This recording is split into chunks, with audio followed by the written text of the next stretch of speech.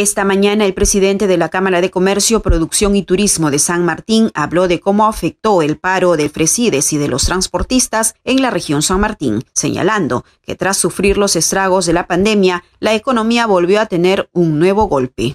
Sí, efectivamente, nosotros preocupados por esta situación cuando eh, en San Martín se está trabajando mucho por la reactivación económica, surgen estos tipos de, de situaciones como el paro convocó el Fresides ya hace algunos, una semana atrás, y eh, que a, raíz del día lunes y martes que se sumaron los, transportistas y sobre todo algunos actos vandálicos que se cometieron en la ciudad, creo yo que no es los más perjudicados ha sido el sector del turismo, ¿no? un sector que, si bien es cierto, ha venido creciendo en los últimos meses, con esto tema del paro y el bloqueo de carreteras, se ha visto perjudicado cerca de un 90%, puedo decir.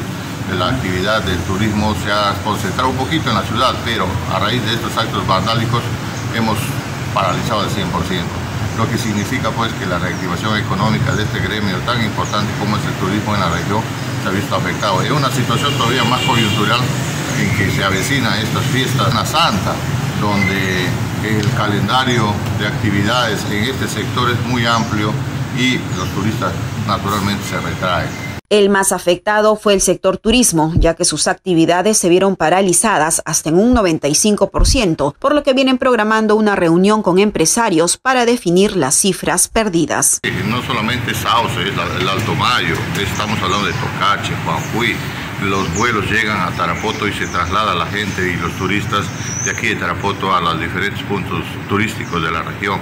Entonces, por eso decía, yo creo que hasta un 90-95% de la actividad turística se ha visto mermada.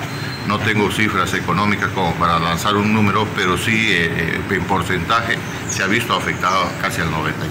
Efectivamente, nosotros este, en estos días hemos estado en permanentes reuniones y comunicaciones con el gremio de turismo, nuestros directivos, mirando y monitoreando el, el tema de cómo está afectando. ¿no? Vamos a tener una reunión con ellos para ver en qué medida podemos reactivar rápidamente lo que se ha perdido en estos días, sobre todo en lunes y martes, es complicado recuperar. Entonces hay muchas personas que tenían pasajes para esta semana, simplemente a raíz de esto pues cancelan, ¿no? Ya hay hoteles, restaurantes que están diciendo que se han cancelado, las agencias de viajes están preocupados porque muchos grupos han cancelado ya eh, algunos este, tours que han estado programados para esta siguiente semana. Entonces es preocupante.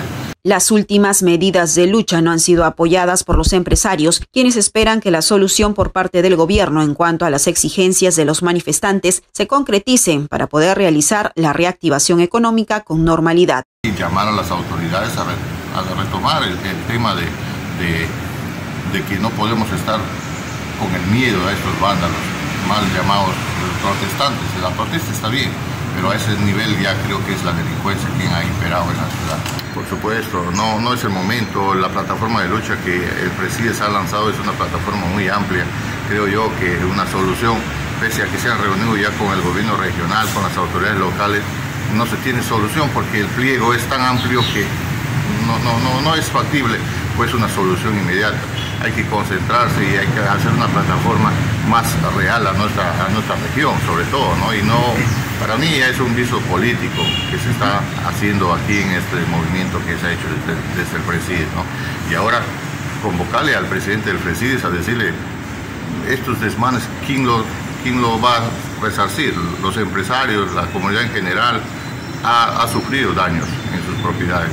Al cierre de este informe se conoció que en los próximos días se conocerá el porcentaje de pérdida en dinero que experimentó la región durante el paro.